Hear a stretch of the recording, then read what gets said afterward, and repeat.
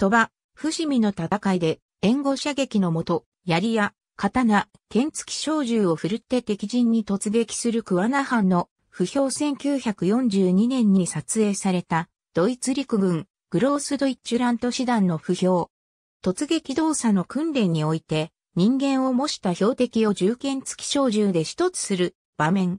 突撃は主に不評が行う戦術で敵の陣地などに突入し敵を撃破しつつ占領する戦術を言う。騎兵が行う場合も多く馬の巨大な馬体を活かして敵を蹴散らす。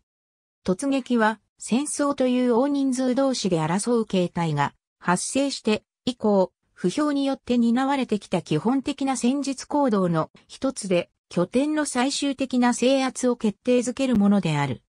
これは兵器の発達とともにその形態も変化していったが、最終的に敵陣営を制圧するために素早く移動するという趣旨においては大きな変化はない。その意味において、戦闘における攻撃の場合は、散発的な石膏同士の接触に伴うものも含まれるが、戦術的な意味合いにおいては攻撃の最終段階である。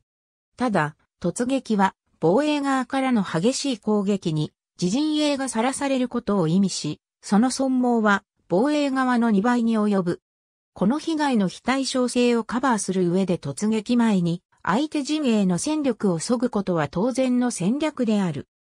再装填に時間のかかる前奏式の単発銃が主流であった第一次世界大戦よりも前の時代には突撃といえば小銃による一斉射撃を行った後に再装填しないまま前進し銃剣を取り付けた小銃を槍として用いて敵陣営に切り込んでいたがボルトアクションの登場により再装填が素早く行われるようになると、この戦法はより多くの犠牲を攻撃側に生むようになった。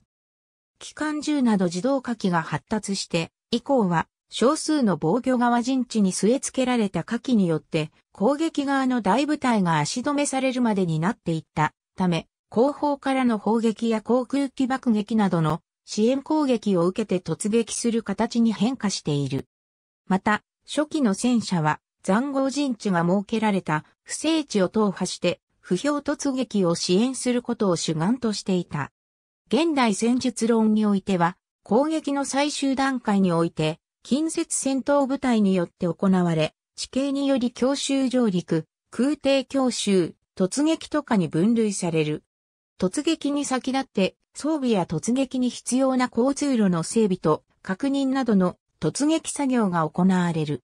ここで障害物の破壊、制圧、さらに突撃部隊の突撃発起の合図と、突入前後の行動を支援するために行われる、計画的な射撃、突撃支援射撃が準備される。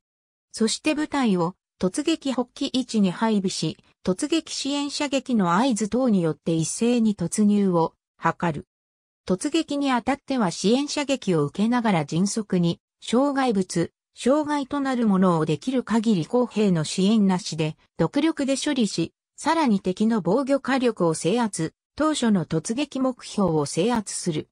現代戦闘においては、これに使われる兵器も、その必要に応じて変化している。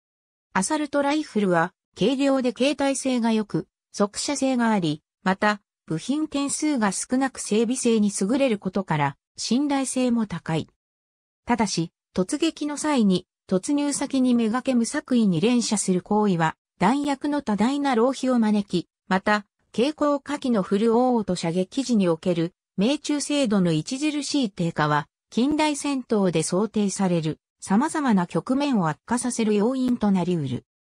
これはアサルトライフルが人間が扱う兵装である以上、免れない問題であり、現代で主流を占める戦闘のレベルで考えれば蛍光火器のフルオート射撃機能は、せいぜい不評の戦意を高揚させる程度の意味しかないとする評価も少なからず存在する。